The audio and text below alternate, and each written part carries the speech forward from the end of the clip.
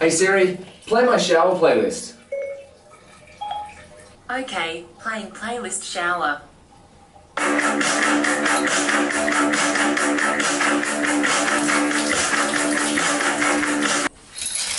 What's going on, guys? Welcome to Learning Intelligence episode 21.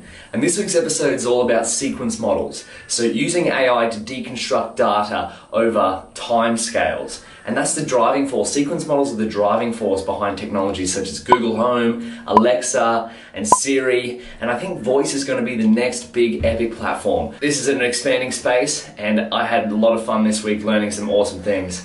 The past two days I haven't really got much done, and that's because I've been saying yes to different things, and things have come up, things I had to take care of, and whatnot. I woke up this morning, I was feeling feeling pretty down. I was pretty down on myself. I'm like, I should have been doing this. I'm not hitting, not hitting the goals I set for myself each day. I was writing about it because I was kind of having a conversation with myself. That's what I do every morning in my journal, and I realized I come to the conclusion you can be too harsh on yourself sometimes because you got to be You've got to be your own harshest critic, as well as the same time, you've got to be your own biggest supporter. And I realized it came back to a point that I read in one of my favorite books of all time, Love Yourself Like Your Life Depends on It by Kamal Ravikant. And I wrote down, would I be treating myself like this if I truly loved myself? And which I do, of course. It, it's taken me a while to get to here, but I realized if if I'm being this harsh on myself, it's not reflecting the fact that I truly I truly love myself and I'm my own biggest supporter.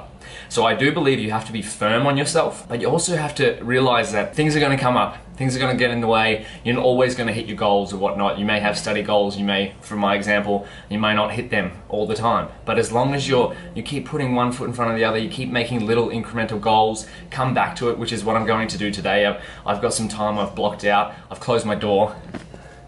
The door to my room's closed. I'm gonna spend the next couple of hours getting back on track, and I think that's probably the most important part. Is that we will have times in life. This is this is like a philosophical digression from the normal content you see. That's a big part of my life too. I love reading philosophy and, and learning about different ways of how to live. So I believe it's it's important. You got to be firm on yourself. At the same time, realize these stumbles will come and get back on track, right? You can get back on track. That's that's the most important part. If you can get back on track and get back to where you were and set yourself a few goals and slowly start getting building that momentum back up, well then what, what are you worried about? What are you so worried about? And that's this is sort of a reflection to myself, a lesson to myself. And so I'm gonna get back into it. I know what I have to do, set myself some work for today, and I realized if if I can't get it done all today, because I've sort of backlogged a few things that I wanted to get done in the last two days. And if I can't get it all today, done today, that's all right. Tomorrow's another day. We're going to keep pushing forward. Guys, I'm heading into my local startup hub. There's an event on AI and healthcare, two of the areas I really love and where I want to get into. And so I'll film some stuff there if I can. And when I get back home, I'll show you what I've been working on. It's really cool. Well, I find it really cool anyway. So I just got home from the AI and healthcare meetup and it was awesome. Some really great insights into. There was one of the professors at the Gold Coast Hospital, which is a major hospital near my home city. He was giving a talk on how he's currently, well, how he's foreseeing how AI can be implemented into his hospital. And they're already starting to see deep learning models on the the data rich hospital. Like the data sets in hospitals are incredible because they just they just collect so much data. They're seeing deep learning models improve uh, some of their they use logistic regression on most of their data. And so the deep learning models are already improving them by up to 10% in some cases. And and for that like the healthcare the amount of money that goes through there that 10% uh, in saving or 10% in just not even in money actually in in patient diagnosis rather than giving someone a cookie cutter healthcare plan it's really moving towards how do we tailor a specific plan per patient? How do I treat this patient, the one I've got in front of me, rather than averaging a whole bunch of treatments from someone else. That sort of stuff really excites me. That's what I want to look at. To me, the hospital is sort of a, a reactive measure. I would prefer having a nutrition and fitness background, using AI to work on principles to prevent someone from getting into a hospital in the first place. So that's where my goal is, is to use AI in healthcare in that space and really let people live the healthiest version or become the healthiest version of themselves, leveraging AI technologies uh, before they end up in a hospital. So, or prevent them from getting into a hospital. Because I don't know about you, but I'm not a fan of spending any time or as little as time as possible in hospital. I want to be the healthiest version that I can outside of hospital. Let me show you what I was working on yesterday. So this is project two of week one. So it's Dinosaur Island. Create a character level language model, final version. And so what we were doing was using RNNs to take an input of text. In this case, it was a list of dinosaur names and output a bunch of new dinosaur names.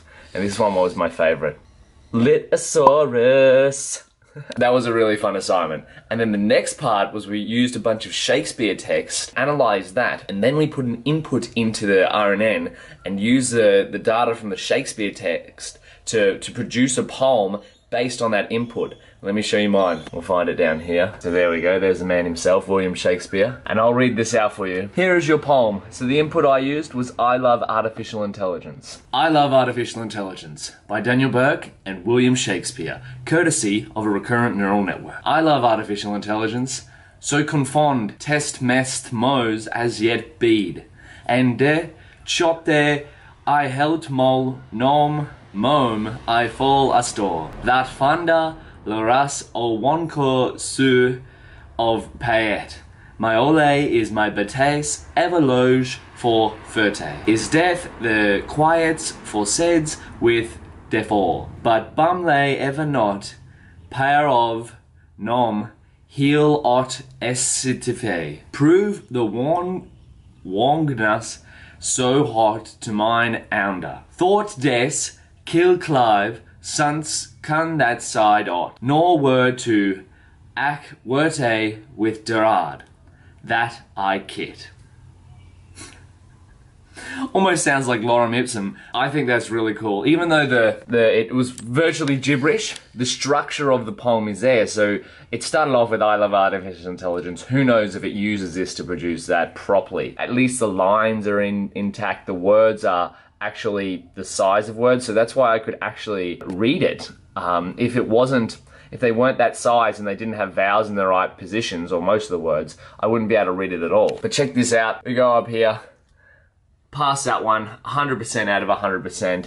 And where are we up to today? Oh, so today I'm going to be working on jazz improvisation with LSTM. And one more thing I want to show you is this book by Francis Francis Cholette, I think I'm saying his name right, which is from the authors of Keras. I got recommended this book on my Medium, on one of the comments of my post, and I'm reading it so far, and it's it's incredible. So I haven't decided yet if I'll buy it, the whole thing, but I'm reading the the sample chapters. I think there's a few free ones here. What is deep learning? Look at that. There's so much information there. Before we get started, the math of neural networks, that's free as well. So I'll leave a link to that in the description. Up coding early this morning because I'm meeting a friend out for breakfast. Really close friend of mine, so I'm excited to see him and talk about the stuff. I'll probably talk about the stuff I learned at the, the meetup last night. That was really fun. Probably more on that meetup, uh, or not the meetup, sorry, but AI and healthcare in the future. So stay tuned for that. Oh yeah, check it out guys.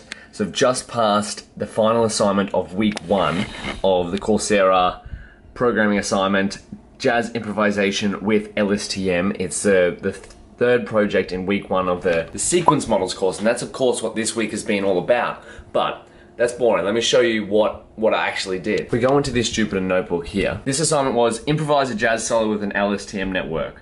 So ideally we were going to send our friend a copy of a brand new jazz solo. I can't play any musical instrument. I should be able to. That's that's really that'd be really fun. But anyway, I can use AI to play them for me. So this was the initial data set. So we will train an algorithm on a corpus of jazz music. So this is a little example. Can you hear that?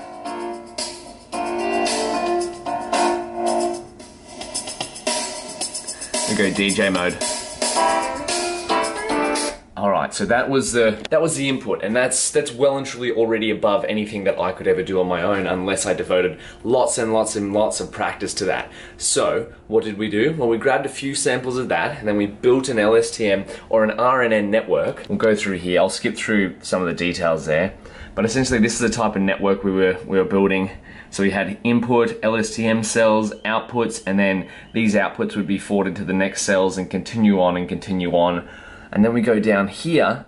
Once our model was trained, here is my output of my own brand new jazz file. So let's hear how that sounds.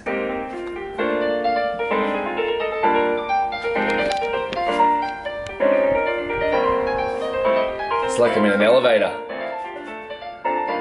I don't know if my friend would really appreciate this, but uh, it's for you, friend. so that's really cool. That was the assignment for the week, and uh, that was really fun. Like that's that to me is something that it just shows the power of AI. For example, I don't, as I said, I don't know anything about musical instruments. I'm probably offbeat, especially with my dance moves and whatnot. But the fact that we can use AI to help us with these things is what really excites me in the future. It means that uh, people in certain fields, if they don't know how to do things, they can recruit the power of artificial intelligence if the human intelligence isn't available to give them a hand. Imagine in the future, I could just ask Siri, like I did at the start, to generate me an entirely new playlist that no one's ever heard before just for me, just for my own personal interest. And it's, it's making it up on the fly. That's something really cool and potentially something you'll see in the near future. What are the takeaways from that project? I'll show you here. Here's what we should remember from that project. A sequence model can be used to generate musical values, which are then post-projected into MIDI music, which is essentially just a music file. Fairly similar models can be used to generate dinosaur names or generate music. That's what we did in the last project. And then in Keras, sequence model generation involves defining layers with shared weights which are then replaced for the different time steps. Because of course a sequence model is over time. And now that's going to wrap up Learning Intelligence 21. Let's get into some shoutouts. Alrighty then, so these beautiful people have reached out to me on one way or another, either via email, daniel at mrdbourke.com, or Twitter at Mr. D Bourke. I almost forgot my own Twitter handle then, that would have been interesting. Or YouTube comment, of course. You can leave a comment below. Anything you, you send to me, I'll definitely do my best to answer your questions. Ask me whatever you like. What, what did I have for breakfast last week? Uh, good question. I can't really remember. I think it was potentially a protein pancake, but I made a video on that. Check that out if you want. Anything you like about AI, fitness, health, life, I'm happy to do my best to answer your questions. And if you want to leave a comment below, that way uh, other people can check it out. Without any further ado, Thank you so much to Saravanan. Thank you for your kind words, Saravanan, and all the best with the Deep Learning Nano degree. I know you just signed up to it, and I know you're doing it at the same time as work, and you're almost looking to, I think you're looking to move on as well from, from your job and break into the world of, of deep learning and AI. So all the best with your, with your learning journey. If you have any questions for me, of course, if I can help out in any way, let me know. Hamad, thank you for the great question on, on last week's YouTube video, last week's version of Learning Intelligence. So what are my plans after I finish my machine learning and deep learning uh, learning journey, the AI Masters curriculum? It isn't completely set in stone, but I know the trajectory I'm heading on. Once I finished my curriculum, once I finished through all the courses, I'm looking to move into the AI and healthcare space. So what does that mean? Well, I want to join an AI uh, and health startup or uh, an AI and health focused tech company or create my own. So of course I'm looking for a, for a job somewhere in the field of AI, particularly in health, uh, but as whether it's through my own startup or through someone else's, uh, we'll see how the future plays out. But of course, I'll bring you guys along with me for the journey. And last but not least, Shaik Asad. You've started your own YouTube channel, you're making guides on GitHub, you're, you're an absolute wizard. I had a conversation with Shaik uh, a few days ago actually, or a few weeks ago, I, I, posted the video on my YouTube. He's an amazing AI developer, 14 years old from India. He's, he's gonna change the world, he's definitely gonna change the world. I look forward to meeting you eventually in person, but as for for your support. I can't thank you enough. I really appreciate it. So thanks, brother. As for plans for next week, next week I'm going to be jumping into the, the final two weeks of the Sequence Models course. I plan on finishing uh, the Sequence Models course on Coursera uh, by the end of next week, potentially by the start of next week. And then from there, uh, we'll be going back into the Udacity Artificial Intelligence Nano degree. So I'm having a really great time and learning so many amazing things. And as I said in the, in the video uh, earlier on, sometimes it does, it does get a bit hard. And I know I do portray a, a really excited personality on these videos and that's that's generally how I am but don't get me wrong